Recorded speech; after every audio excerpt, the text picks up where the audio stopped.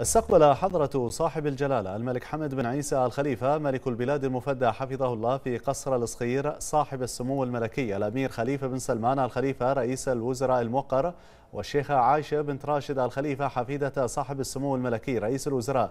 بمناسبة تخرج الشيخة عائشة من أكاديمية ساند هيرس العسكرية الملكية بالمملكة المتحدة. وقد هنأ جلالة الملك المفدى الشيخة عائشة بمناسبة تخرجها من هذه الأكاديمية العريقة وعلى النتائج المشرفة التي حققتها. مشيدا حفظه الله بالجهود المثمرة التي بذلتها خلال فترة دراستها.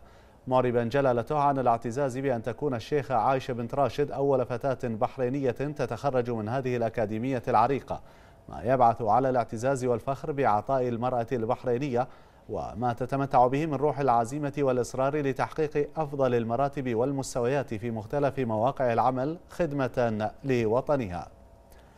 متمنيا جلالته للشيخ عائشة دوام التوفيق والسداد. كما نوه جلالة العاهل المفدى بحرص أبناء مملكة البحرين على التحصيل العلمي الأكاديمي والعسكري لخدمة وطنهم ومجتمعهم مشيدا جلالته بعراقة أكاديمية سانت هيرس العسكرية الملكية بالمملكة المتحدة وما تقدمه من برامج ومناهج في مختلف العلوم العسكرية.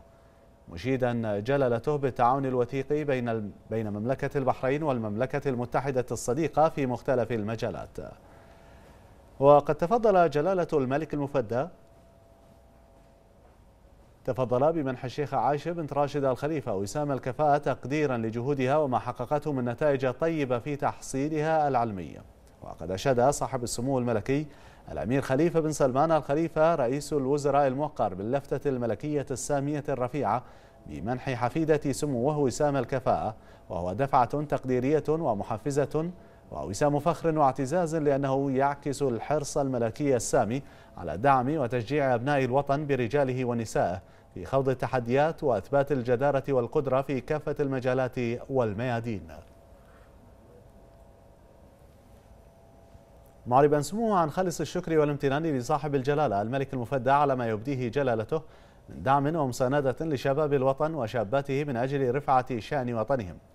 مؤكدا سموه أن هذا الوسام تقديرا ملكيا كبيرا لجدارة وكفاءة الشيخة عائشة بنت راشد في خوض المجال العسكري بتخرجها كأول بحرينية من كلية سانت هيرس العسكرية. وإبراز وجه المرأة البحرينية وقدراتها في هذا المجال العسكري وأن هذه الثقة الملكية الغالية ستكون حافزا للمزيد من الحرص على أدائها وغيرها من الشباب للحرص على أداء رسالتهم وشعورهم بالمسؤولية للدور المنوط بهم في خدمة البحرين في ظل العهد الزاهر لحضرة صاحب الجلالة الملك المفدى. فيما رفعت الشيخة عائشة أسماءات الشكر وعظيم التقدير والامتنان إلى المقام الثاني إلى المقام السامي لحضرة صاحب الجلالة الملك المفدى لدعم جلالته وتشجيعه لأبناء مملكة البحرين. داعية الله أن يحفظ جلالته ويرعاه ويمتعه بموفور الصحة والسعادة لمواصلة قيادة مسيرة الخير والعطاء في هذا الوطن العزيز.